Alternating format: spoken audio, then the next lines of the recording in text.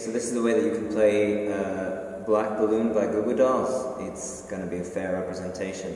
it's not exact because John Rzeznik likes to tune to a lot of uh, open strings, but I think that it works. In any case, uh, your main verse is going to be a C, and then you're going to be playing an F, but an F leaving the G string open to make it an F9. So it's.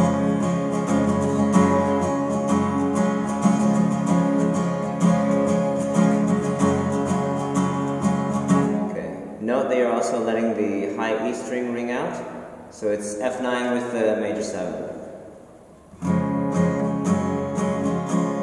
And then when you change uh, to the end of the verse, rather, it's uh, I play D minor,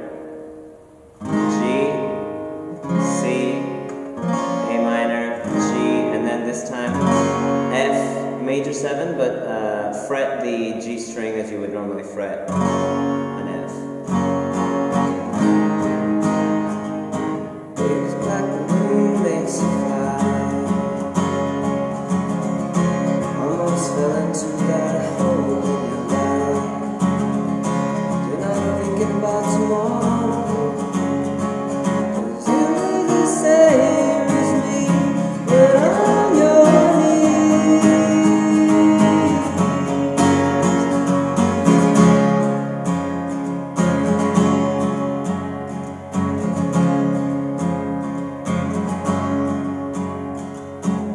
Try to get the strumming right, and then for the chorus, it's really easy. It's just a A minor, G, F, C.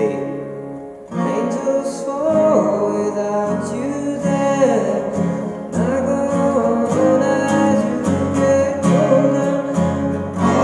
Someone's? So F, G, C.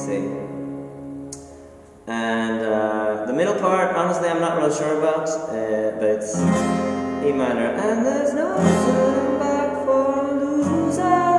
Mm-hmm.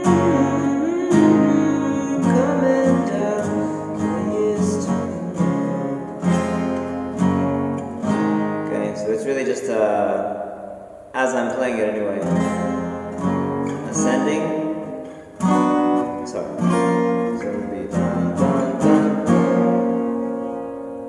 and then verse to the end, as you like.